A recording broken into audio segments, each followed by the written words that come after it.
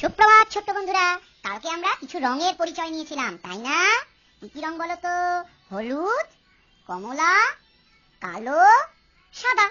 হলুদ বা ইয়েলো, কমলা বা কম- কমলা বা অরেঞ্জ কালো বা ব্ল্যাক সাদা বা হোয়াইট আজকে আমরা কিছু অন্য রঙের পরিচয় নেব। বলো তো, বেগুনের রং কি?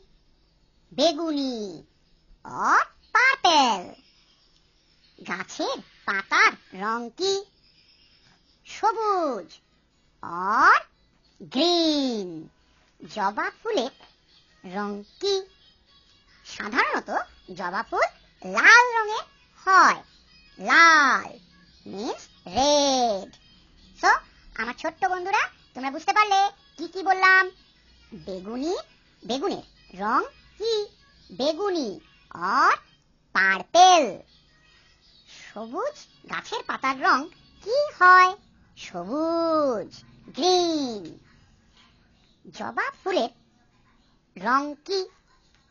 রেড। সাধারণত জবা ফুলের রং লাল বলেই মানা হয়। নানা ধরনের জবার রং হয়ে থাকে, যেমন সাদা কমলা তারপরে হচ্ছে বেগুনি, তারপরে হচ্ছে হলুদ ইত্যাদি।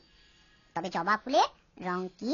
লাল মিন্স রেড তো আগে আমরা যেগুলো শিখেছিলাম, সেগুলোর সাথে আজকে আমরা কি কি রং শিখলাম? বেগুনি আর পার্পেল সবুজ গ্রিন আর লাল আর